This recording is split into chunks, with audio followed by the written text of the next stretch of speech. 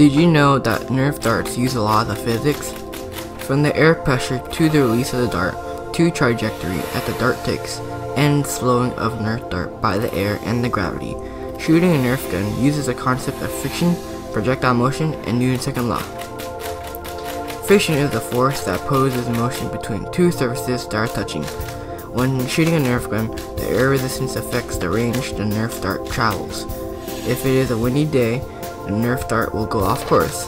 Gravity also affects where the Nerf dart goes because gravity pulls down onto Nerf dart for it to go down. Nerf dart has air resistance in all of its sides. There is also a path of where the Nerf dart will fall shorter. Projectile motion is a curved path an object follows when it's thrown or propelled near the surface of the earth. The angle and the force of your Nerf gun determines where your Nerf dart will go. With the help of gravity, we can predict where the Nerf dart will land at. The steeper the angle, the greater the vertical component of the vertical is, which means more time for the Nerf dart to be in the air. The trajectory of the Nerf dart is predictable in shape.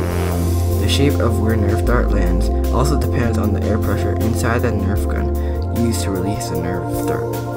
Newton's second law is the motion of an object when an unbalanced force acts on an object.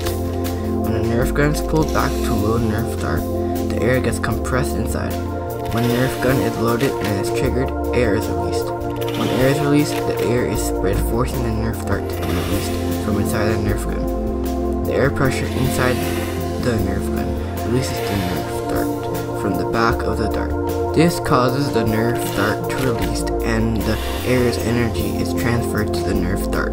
By gaining knowledge about friction, Newton's second law, and projectile motion, we figured out that Nerf guns are more complex inside than we thought it would be. When firing Nerf gun, you can predict where and what it will hit. The Nerf dart has air resistance and gravity pulling the dart down, making parabola when the dart is shot. Nerf guns is an amazing invention.